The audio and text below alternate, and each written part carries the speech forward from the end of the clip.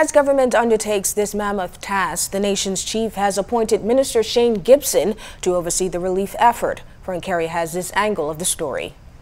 The government assuring residents here in the capital and on Grand Bahama and North Andros that they will be given equal and urgent attention as efforts continue to help them rebuild their lives and homes following the passage of Hurricane Matthew. National Coordinator for the Hurricane Matthew Relief, Recovery, Reconstruction and Restoration efforts, the Honorable Shane Gibson, says food and water have already been delivered to North Andros where a command center has been established. He said teams are also on the ground here in Nassau and Grand Bahama and are working aggressively to bring relief to storm ravaged areas. We have a tremendous task ahead of us, which will require the removal of territorial boundaries that often exist between government ministries and departments. The Grand Bahama Power Company have begun assessments and in conjunction with the utility company as of Sunday, October 9 today, restored utility services, and some residents are now receiving running water from the hours of 8 a.m. to 10 a.m. and from 4 p.m. to 6 p.m. daily.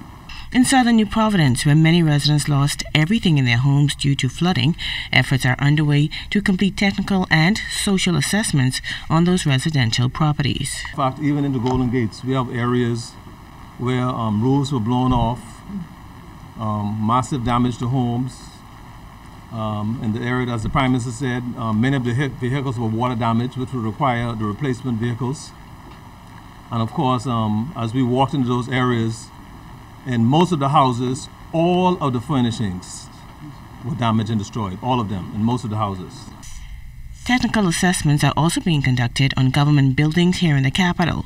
And over on Grand Bahama, Mr. Gibson said a massive cleanup effort is underway to prevent the spread of diseases by contaminated floodwaters.